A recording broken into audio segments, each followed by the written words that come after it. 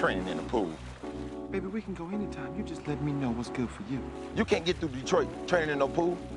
You, you think Michael trained in the pool? No, I don't think so. And stop looking at my lemonade. Here I come! Cannonball! Ah! Oh, oh, you got pop sweat. Don't make me get out of this seat. Come on in! My yacht, cool. He won't get in the water. He don't want to get his hair wet. Pretty boy. Hold that, hold that thought. I'm gonna call you back. Oh, Lord.